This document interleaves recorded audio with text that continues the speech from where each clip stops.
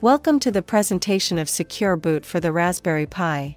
In this video, I will give you insights to physical and cybersecurity of embedded systems, like the Raspberry Pi. We will look at the normal Raspberry Pi boot flow, our security level 2 microSD cards, and the Swissbit access control feature. And we will derive a secure boot flow to protect your data and the system's integrity. Let's start with an overview of our Security Level 2 microSD cards.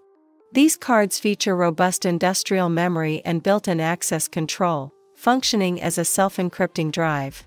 You can configure individual partitions with different protection profiles, securing everything from configuration files to data, preventing unauthorized copying or cloning.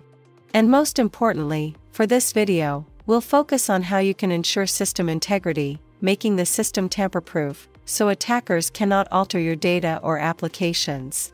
Our microSD cards can also serve as secure removable media or be used for license protection with Wibu's CodeMeter ready. So, what can our microSD cards protect against? And what can they not? Let's divide the potential threats into two categories physical attacks, where someone has access to the device, and remote attacks, which occur over a network, like the internet or a nearby connection. Both types of attacks aim at the valuable assets stored in your embedded system.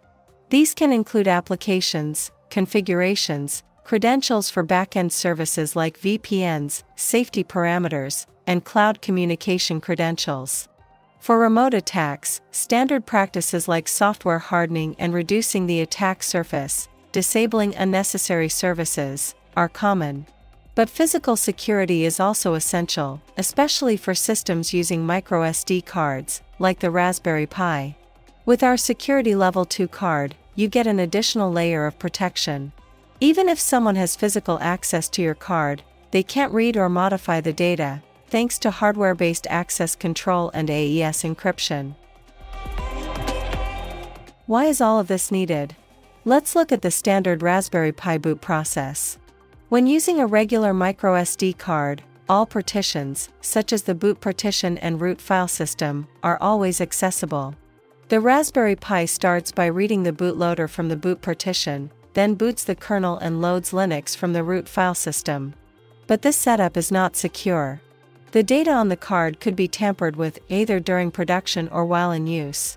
Bootloaders aren't protected, and system integrity isn't guaranteed. However, there is a solution to this.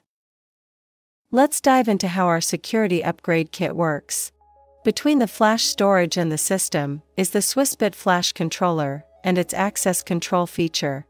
This controls whether certain areas of the flash storage are readable, writable, or completely hidden. You can configure up to four partitions with different protection profiles, some can be made private, only accessible after authentication. In addition to the general access also the, the behavior of each partition can be set to read-only or read-writable before or after unlocking. This adds a critical extra layer of security for embedded systems that rely on data stored on microSD cards, like the Raspberry Pi family. In this slide, the configuration lifecycle of our Security Level 2 microSD cards is explained. When shipped, all the protection is unset, and the device can be flashed, used and partitioned like any other card. We call this the transparent mode. After you have configured the card to your needs, you have to activate the protection by setting a user and security officer PIN. Beyond the versatile configuration, one key feature is the automatic locking mechanism. When powered up, the card is always locked by default. To unlock the card, the system must authenticate with a PIN, network challenge response, or system fingerprinting, blocking all unauthorized access. Whenever an attacker pulls out the card, it is automatically locking itself again. Another benefit compared to other secure boot schemes known from embedded computers is that this locking mechanism can be reverted by using the security officer PIN. This feature also can be disabled, however, your security concept is demanding it. Let's see how this works with the Raspberry Pi. Our security level 2 microSD card is partitioned with 4 partitions, but only the boot partition is readable by default. Inside the boot partition is the Swissbit U-Boot bootloader, an open-source bootloader that communicates with the microSD card using the ASSD protocol. After unlocking, the other partitions become accessible and the system can presume its normal boot. The system's integrity is protected because the bootloader is made immutable by our access control mechanism and cannot be altered.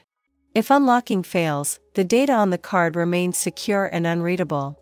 This protects your system integrity and ensures the confidentiality of your data from unauthorized physical attacks, as we have seen earlier.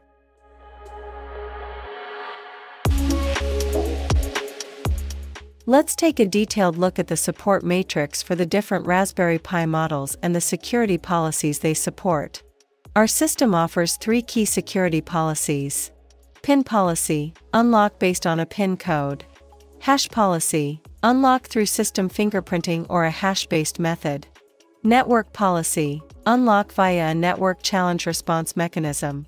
All Raspberry Pi models support either 32-bit or 64-bit operating systems, depending on the model. The Raspberry Pi 4 supports both 32-bit and 64-bit architectures, providing maximum flexibility. In terms of security policies, the Raspberry Pi 2B, 3B, and 3B Plus all support PIN, hash, and network policies, making them highly versatile and secure options. The Raspberry Pi 4 also supports all three policies, making it the most adaptable choice for implementing advanced security features. However, the Raspberry Pi Zero variants and the Raspberry Pi 5 currently only support the PIN policy. This limitation on the Raspberry Pi 5 is due to our reliance on open source community contributions for U-Boot, which currently lacks network interface support. We're actively working to address this, with plans to introduce further policy support in future updates. For more information, including the support matrix, setup tools, code, and reference guides, visit swissbit.com/security-upgrade-kit. You'll find all the resources needed to implement these security features on your Raspberry Pi, no matter the model. Summing up, we've seen that the protection can be managed.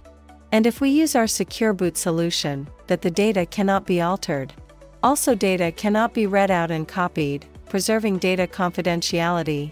And all in all, the system integrity is established and preserved. Thanks for watching and stay secure.